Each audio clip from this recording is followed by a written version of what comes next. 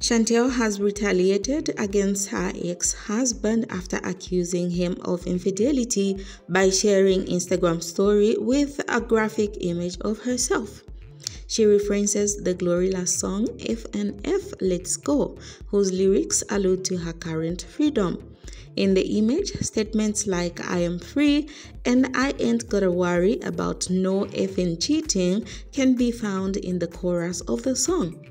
It appears like Chantel is taking a direct shot at Pedro for abandoning her after becoming financially secure in the United States and sadly accusing him of cheating. Now, the cheating scandal played a significant role in the path of the former marriage on the family Chantel. Viewers witnessed Pedro become distant from Chantel, who was then his partner, and concentrated more on his career than on resolving his marital issues in the previous season. The native Atlantan suggested that her spouse was having extramarital affairs at the time with his co workers. Pedro later convinced the family Chantel viewers that he had an affair by sharing some contentious photos with his supervisor.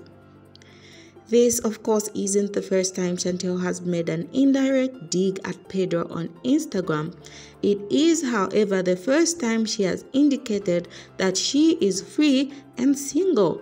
It's possible that the 90 Day Fiancé star chose this song to announce to the world that she and her ex husband have divorced because the popular cast member is most likely still under contract with TLC she would have found it difficult to publicly announce the conclusion of her divorce.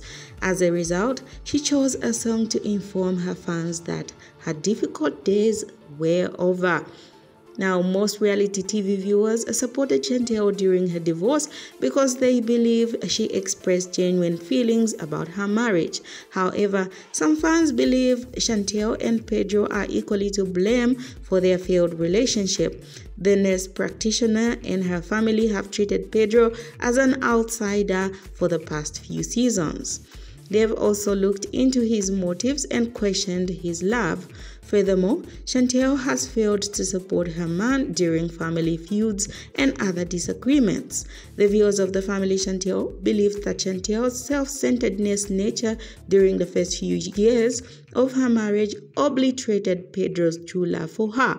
Alright, that's it. Thank you very much, guys, for watching. Do like, subscribe, and comment down below.